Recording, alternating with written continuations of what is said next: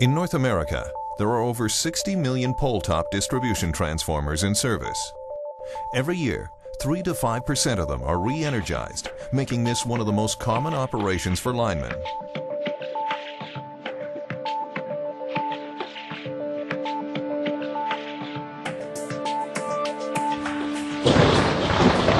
Lightning is a leading cause of transformer failures.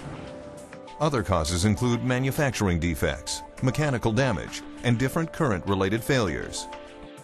Pole-top transformers are usually connected to the primary supply network by a cutout fuse, which will operate when there are fault currents from the distribution network or evolving faults within the transformer.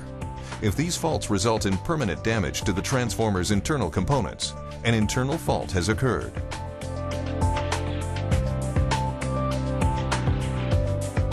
A fault can produce several types of gases that when mixed in particular proportions can become explosive. When a fault occurs, there is a sudden increase in tank pressure and gases collect in and above the oil. If the internal fault is undetected and the transformer is re-energized, the risk of a violent failure increases. The explosion seen here is an example of one of the hazards line workers may face when re-energizing transformers that have an internal fault. Industry studies conclude that one in five transformer re-energization operations involves a transformer with an internal fault. To reduce risk, utilities have developed thorough but time-consuming procedures. Unfortunately, these procedures are not always followed because of the urgency to restore power quickly.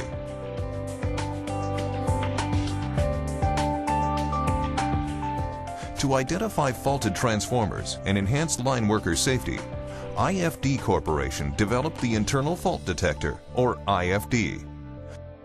The IFD sensor is a mechanical device requiring no electrical connections. When an internal fault occurs, the pressure increases suddenly. This triggers the highly visible orange fault indicator flag to pop out of the side of the transformer. An IFD-equipped transformer with the highly visible orange flag displayed must be taken out of service and replaced. After the IFD activates, it stays sealed to prevent oil spillage when removing faulted transformers.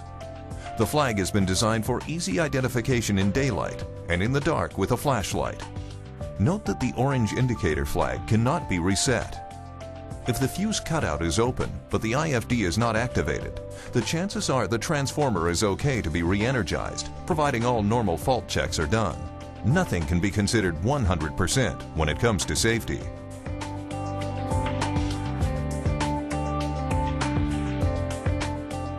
The IFD serves a dual purpose, as a fault detector and as a pressure relief valve, or PRV. During hot days or heavy loads, the transformer will heat up and the pressure inside the transformer tank will gradually increase.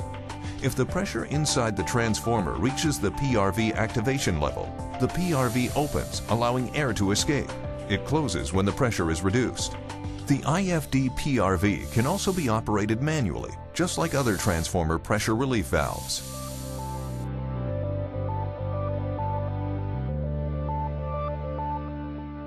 Installing IFD-equipped transformers is almost identical to other transformers.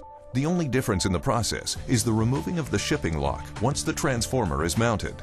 Note, the shipping lock must be in place when transporting or handling a transformer with an IFD installed. IFDs are inexpensive to purchase and easy to install in new transformers during manufacturing. They can also be retrofitted in existing transformers. When installed on the side of the transformer above the oil level, the IFD does not interfere with any of the electrical components inside the transformer. The IFD is installed in single and three-phase pole-top and pad-mounted transformers, as well as voltage regulators.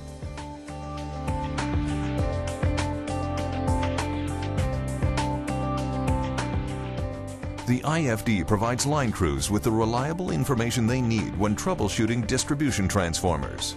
The benefits are, it's faster and safer for line crews to restore power, improve network reliability and customer service, extend asset life, avoid environmental damage, and create a safer job environment.